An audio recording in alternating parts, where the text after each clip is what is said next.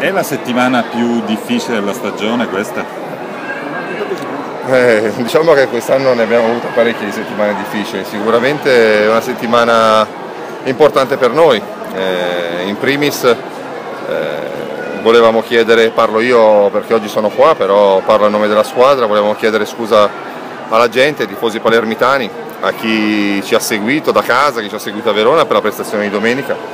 Purtroppo la partita è andata come è andata, eh, il Palermo che conosciamo non è quello lì e quindi noi chiediamo scusa eh, perché una squadra che si deve salvare non può permettersi di, di, giocare in quel modo lì, anzi di non giocare e per questo noi chiediamo, chiediamo scusa. Da qua a domenica abbiamo 5 giorni dove poter provare al meglio la partita con la Lazio, che è una partita difficile ma allo stesso tempo per noi è importante eh, perché sappiamo benissimo, come ho detto tante volte, che basta una vittoria, basta una scintilla per poter eh, ritornare a vedere, a vedere, il sereno. Ecco, dopo la tempesta c'è sempre, c'è sempre, il sereno, purtroppo questa tempesta sta durando un po' troppo, eh, sta a noi far arrivare, far arrivare, il sereno. Dopo la partita vi siete confrontati, vi siete detti nello qual era il sentimento dello stadiano che prevaleva nello spirito di rabbia, amarezza, voglia di riscatto? Delusione, delusione perché purtroppo siamo partiti giovedì per andare a preparare al meglio una partita importantissima contro una squadra già salva e purtroppo sappiamo benissimo com'è andata.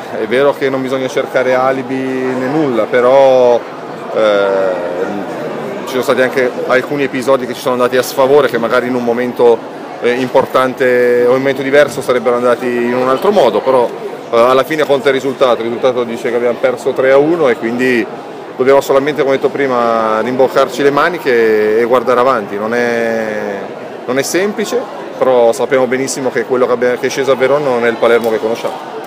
Rispetto all'anno della retrocessione, voi eravate quart'ultimi quella volta, a prima di sette giornate alla fine, adesso siete terzultimi a pari merito, l'altra volta eravate quart'ultimi a pari merito, differenza reti inversa. Ci sono delle analogie che vedi in negativo o trovi dei risvolti positivi? Allora, fino a domenica sera non avevo mai guardato il calendario nostro né delle altre, queste cose qua. Adesso voglio fare una battuta per sdrammatizzare questo momento perché, eh, perché io penso sempre in maniera positiva. Ecco. Di cosa uguale all'anno della successione c'è che andiamo a giocare a Torino con la Juventus e si gioca domenica alle 3 come l'anno della successione. La penultima di campionato giochiamo a Firenze come abbiamo giocato l'anno della successione.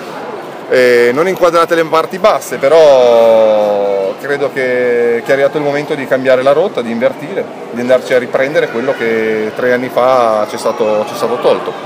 Eh, ti ho detto basta poco, basta una vittoria, basta dare continuità di, di risultati, eh, bastava eh, fare un filotto di, di, punti, che sia uno, che sia tre, ma per cercare intanto di avere eh, positività, di avere entusiasmo, di ricreare di nuovo un, trend, un, trend, positivo, oramai siamo, siamo, nel frullatore e sta a noi riuscire ad uscirne fuori e c'è solamente un modo per farlo.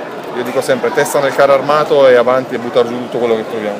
Mancherà Vasquez e trovate una Lazio un po' agguerrita probabilmente dopo la brutta batosta nel derby, il sonoro dell'allenatore.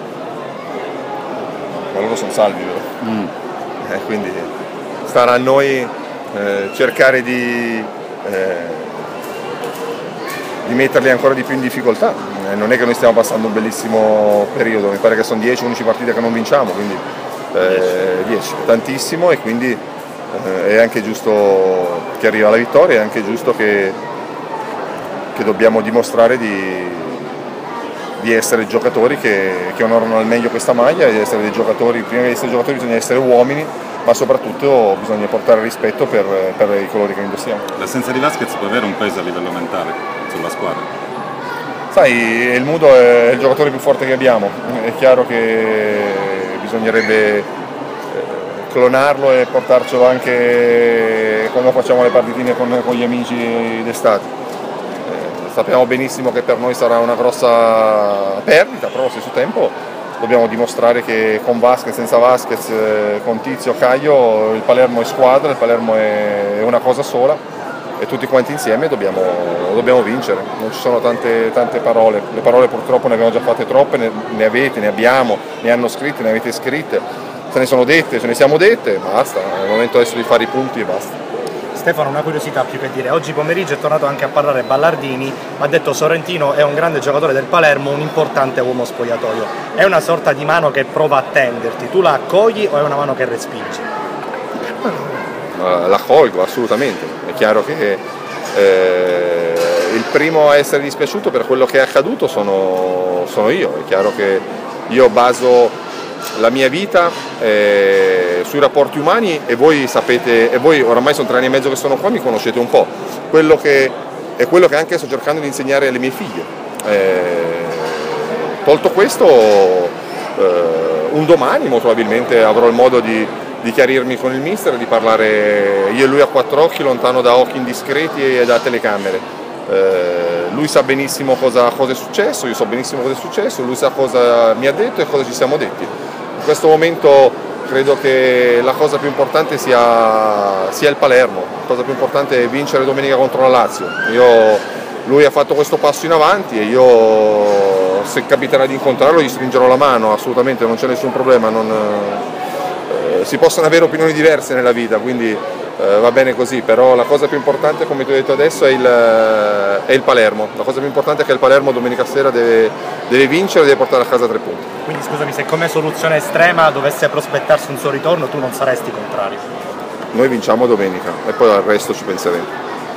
Zamparini ha parlato di un novellino in confusione, voi come l'avete visto il mister in questi giorni? Noi l'abbiamo visto bene il mister, poi non so, non ho letto le dichiarazioni di nessuno, guarda, sono stati due giorni dove ho preferito staccare completamente e non so che cosa, cosa si riferisce il, il, Presidente, però ti ho detto, sai, il Presidente parla tanto per stimolarci, per punzecchiarci e quindi naturalmente l'ha fatto anche con, con il Mister. Adesso la cosa più importante, come ho detto prima, sarò ripetitivo, ma la cosa più importante è il Palermo, indipendentemente da chi va in campo, da chi non ci va, da chi è l'allenatore o da chi è il Presidente. La cosa importante è riuscire a mantenere il Palermo in Serie A.